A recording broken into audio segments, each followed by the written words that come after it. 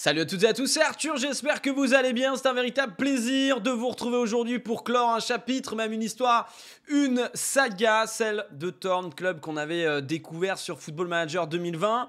J'avais repris les rênes, de nouveau sur FM 2021, je pense que voilà, il est temps de, clore cette saga et de, de passer à autre chose, mais avant, mais avant, j'ai quand même envie de savoir si avec leur futur coach, ils vont se maintenir en première ligue.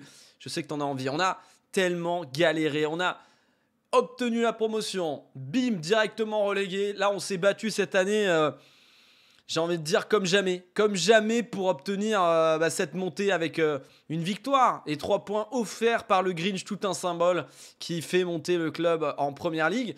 Donc on va découvrir, on va faire ça juste après, mais avant, je voulais vous tenir au courant des, prochaines vidéos à 18h qui vont sortir. Ce sera pas du FM, ce sera pas du FM en attendant eh bien, la sortie euh, de Football Manager 2022, du moins la bêta qui doit sortir aux alentours du 25-26 octobre, on verra ça. Mais en attendant, en attendant, eh bien, on va euh, découvrir un autre jeu. Bien sûr, s'il y a des nouveautés qui nous sont annoncées sur euh, Football Manager, ne vous inquiétez pas, je tiendrai au courant et je ferai une vidéo à, 18h pour en parler. Pour le moment, il n'y a pas eu encore d'énormes annonces nouvelles par rapport à celles que j'ai présentées, donc on reste là. Pour la bêta, on m'a énormément posé la question. On m'a dit oui, Arthur, quel club tu vas entraîner? Ligue 1, ça c'est sûr. Je ne sais pas encore pour euh, Lyon, peut-être. Euh, peut-être euh, Nice qui a des belles pépites. Peut-être Marseille aussi qui a des belles pépites. Pourquoi pas aussi prendre le Paris Saint-Germain Non, je déconne. Non, non, je déconne, je décade. Peut-être aussi Montpellier ou Lens. À vous de me dire aussi dans les commentaires, là où vous me voyez pour la bêta, un projet assez sympa, puisque on fait souvent une saison. Donc il faut que ce soit assez dynamique qu'on a un petit peu de budget, qu'on découvre aussi des joueurs et une équipe avec, qui a pas mal changé ou qui a besoin de changer. Voilà, tout ça, c'est euh, ben, un petit peu aussi euh, votre histoire, donc à vous de me dire euh, dans les commentaires. Mais voilà, il est temps aussi de revenir à nos moutons et à cette partie et avec euh, de regarder notre historique un petit peu, j'ai jeté un coup d'œil et euh, il y a eu des choses sympas que j'ai découvertes. J'ai vu qu'on avait recruté pour 41 000 euros seulement de joueurs, vendus pour 3 millions, donc financièrement ça a été très très bien sorti. 2000 et quelques jours, 200 matchs joués, 56% de victoires sur les matchs. Marco Mola qui est, qui est le, la plus grosse vente et qui a signé au RC Lens en 2024. Je trouve ça plutôt cool et il est aujourd'hui titulaire, il a réussi à faire, à faire son trou. Florent Mollet qui nous a aidé vraiment à passer un cap et à obtenir aussi la, montée avec, euh, bah, pas des très bonnes notes, mais il a 5 passes décisives sur les 15, 15 euh, rencontres. Il a été euh, décisif quand il le fallait. Il a apporté sa, sa grinta et son coup d'œil et son expérience qui nous ont fait énormément de bien. Mais voilà, on va retourner sur notre profil et prendre notre retraite à fait immédiat. Terminé et on va se retrouver ensemble pour eh bien, découvrir s'ils sont restés en première ligue. Ça serait une déception vraiment si ce n'était pas le cas. Allez, sans plus attendre, on se jette dans la bataille. Et nous voilà en novembre 2026. Thorn a probablement un nouvel entraîneur et a disputé toute sa saison en première ligue. Ce serait terrible, vraiment, de les voir. Euh, de les voir être relégués. Allez, on va découvrir Oscar Cham, première division du Sud. On va monter comme ça parce que j'ai peur si je tape Thorn, on va directement spoiler sur le, la place du résultat. Première division du Nord, première division suédoise, première division d'élite.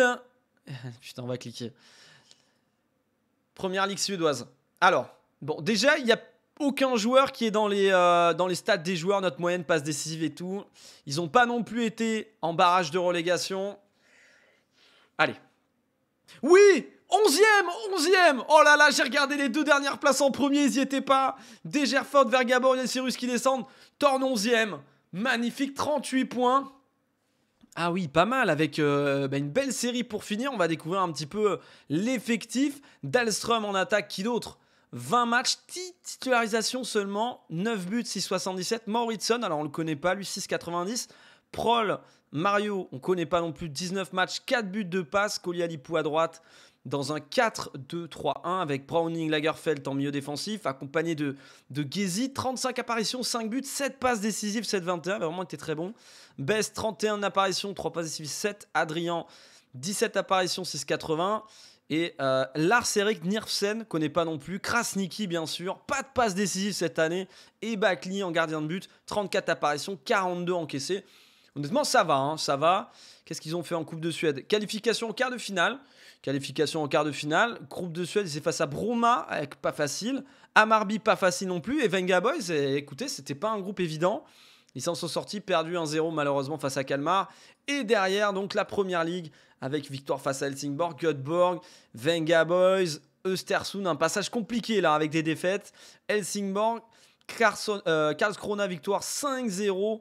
Et derrière, ouais, heureusement qu'ils ont pris tous les points. Oh, ils ont pris les points sur la fin parce que sans ces ils ont fait 3 ah oui, victoire, victoire, nul, victoire, victoire, défaite, victoire. Ils ont je pense qu'à partir de là ça Oh là là là là là là là là là Heureusement, ils ont réussi. Ils ont réussi, on va voir. Oh, ils ont, ils ont flirté. Hein.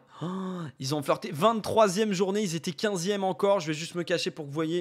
Et ils ont fait une remontée là, à la 25e journée, pour enfin y rester et ne plus repronger parmi les trois dernières places. Mais oh là là là là, ça a surfé. Hein. Ça a surfé.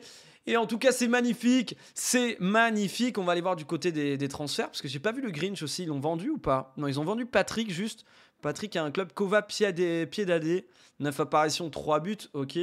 Ça, ça reste correct. Bon, on va aller voir les joueurs. Et alors, Bakli, Krasniki, Nervissen, Adrien, Bess, Gezi, Lagerfeld, Kolialipou, Prol, Mauritsson, Nersvin, on voit pas le joueur que c'est. Mario Prol, libre, acheté à Vigo.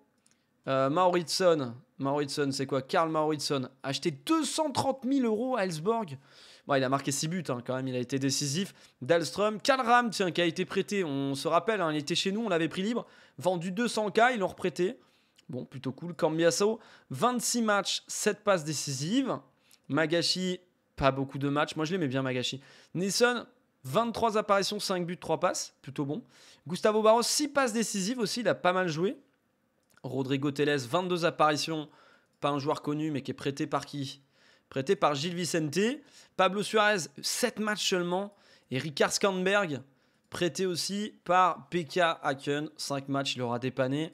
Et Calice Fraoui, c'est euh, quelqu'un qu'on avait acheté à Orléans, qu'on n'a pas vu. Il a joué que 3 matchs, hein, il n'a pas beaucoup joué. Et qui préserve à Ludwig Bergman. Il n'a pas joué un seul match. Il n'a pas joué un seul match, mais je peux les comprendre. On les pardonne, on les pardonne, on les pardonne. Mais c'est top. Manus Persson, qui est le coach, il était d'où? Varanamo. Eh bien, écoutez, je suis très heureux.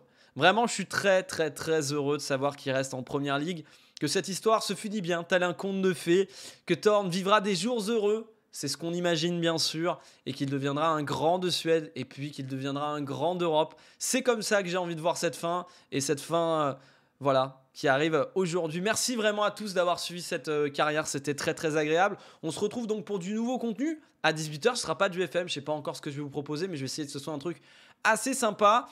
En attendant, eh bien, portez-vous bien, portez-vous bien. Et puis on se retrouve très très vite, très très vite, déjà à 18h pour du contenu, mais très très vite sur FM avec la bêta qui va arriver le 25, le 26 octobre, on sait pas, ou plus tard, ou un petit peu avant. Ciao ciao les gars, portez-vous bien, prenez soin de vous. Des gros bisous, ciao ciao